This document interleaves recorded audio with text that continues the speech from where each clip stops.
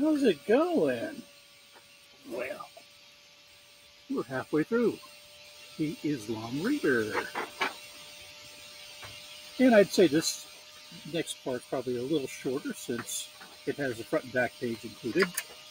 All right, let's see.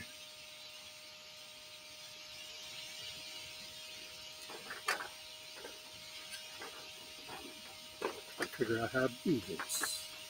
All right. How are Islam and America related? How are they related to Christ? How's it Christ? Christianity related to it? How is anything? What does that even mean? I guess I have to read this.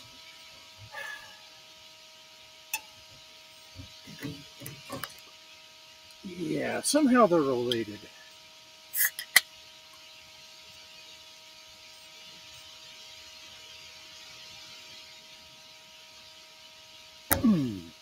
All right, let's see. Find out. Take a quote from the uh, Declaration of Independence.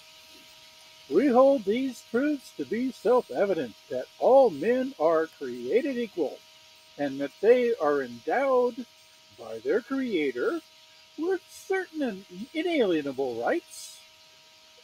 That among these are life, liberty, and the pursuit of happiness. And end quote.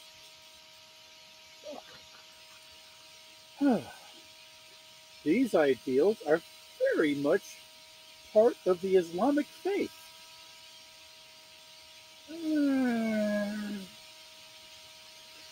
you know, yeah, they're fairly broad minded in some ways.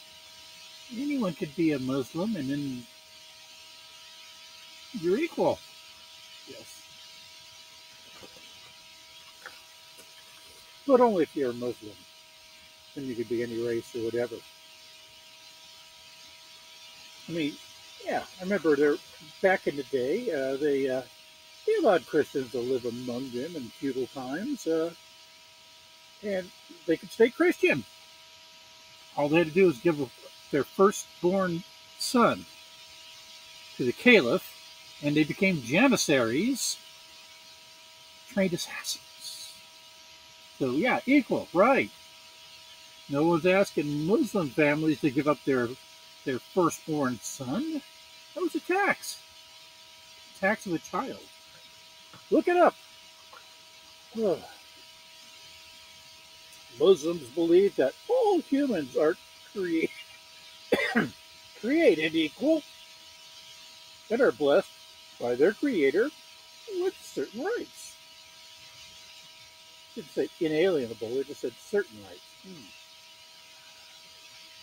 the right to life, the right to pursue eternal happiness. Eternal.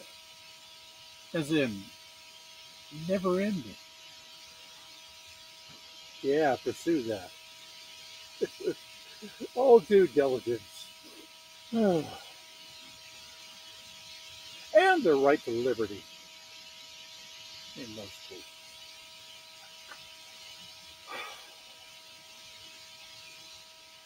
as Muslims see it,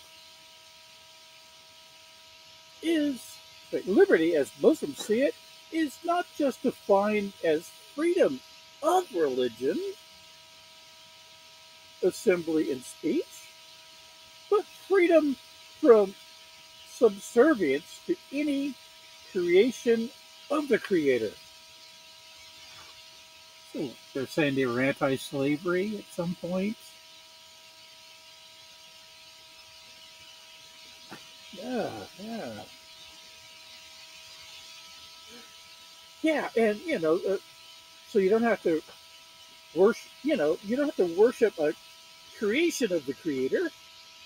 No, it is the freedom to serve the Creator, God Almighty alone. Not so progressive sounding, I would say. But yeah, yeah, there there was some progress in, among Muslims, I will say when Christians were dragging their knuckles and uh, burning witches and shit, Muslims were a little bit better. They also, it grabbed up all the ancient Greek writings, and I mean, there are things we would have lost if they hadn't have stolen so we could steal them back. And of course, he has some new ideas, you know, algebra and all that. Uh, while many so called Muslim nations are not, Islam is democratic in spirit. Okay. That kind of excuses some things away, I guess. Some people just aren't getting it right, I guess. But in spirit, they would be democratic. Uh,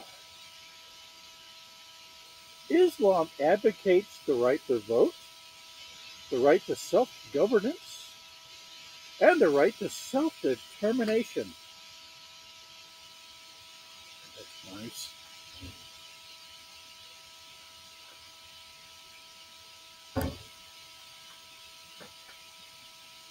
Uh, the Quran enjoins Muslims to rule themselves through consultation and consensus. Muslims believe that each person is responsible for his or her own deeds and that all stand equal before God.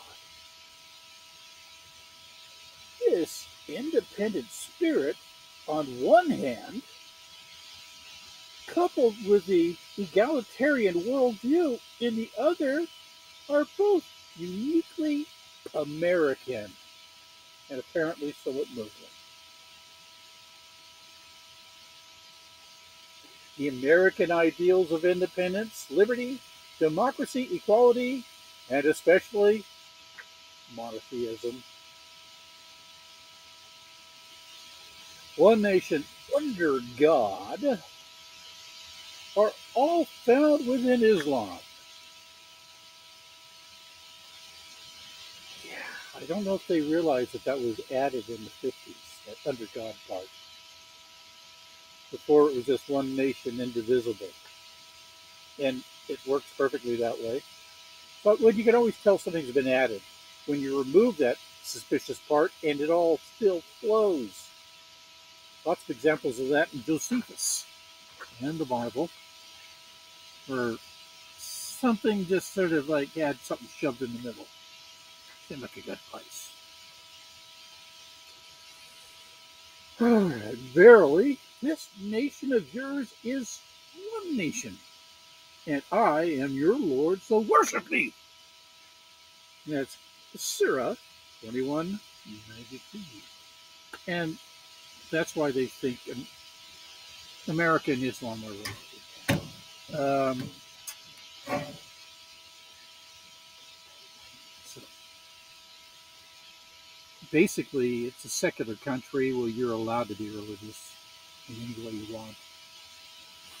And supposedly, you're also allowed to, if you ain't feeling it, you don't have to do it. Except that changes from time to time, and I hope it never goes back to that. You know? Let people be known for their deeds and responsible for them. I get that part. Anyway, chime in, please, and uh, tell me if you passage or anything, and is there something that I missed? Stay tuned. A little more to come. Almost done.